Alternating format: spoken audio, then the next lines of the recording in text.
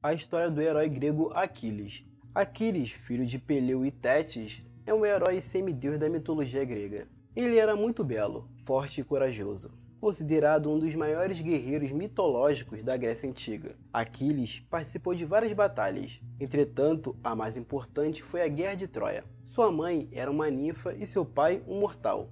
Ainda jovem, seu pai morre e sua mãe lhe entrega aos cuidados de Quiron, um centauro. Com ele, Aquiles aprende a lutar. Com a chegada da guerra de Troia, os gregos resolvem consultar um oráculo.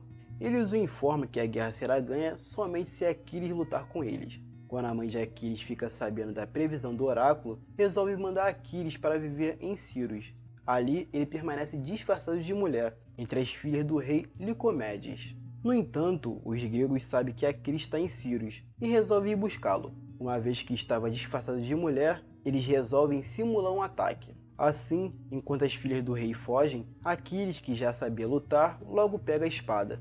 Diante disso, mesmo sabendo da previsão do oráculo, o herói resolve lutar por seu povo. Quando foi traído por Agamenon, o chefe supremo dos gregos, Aquiles resolveu abandonar a guerra. Mesmo com a desvantagem do povo grego, seu grande amigo, Patroclo, foi em seu lugar comandar o exército. Entretanto, acabou morto por Heitor, filho do rei de Troia, Priamo. Esse fato deixou Aquiles furioso e, com o intuito de vingar a morte de seu amigo, resolve voltar para o cerco de Troia. Por fim, ele consegue matar Heitor, o responsável pela morte de seu amigo. Mais tarde, seu amigo Antílope é morto pelo rei da Antiópia, Menon.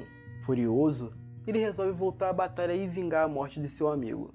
Mesmo com suas conquistas gloriosas, Aquiles sucumbiu tragicamente ao seu único ponto fraco, seu calcanhar banhado nas águas do rio Styx pela mãe, tornou-se invulnerável, exceto por esse ponto específico.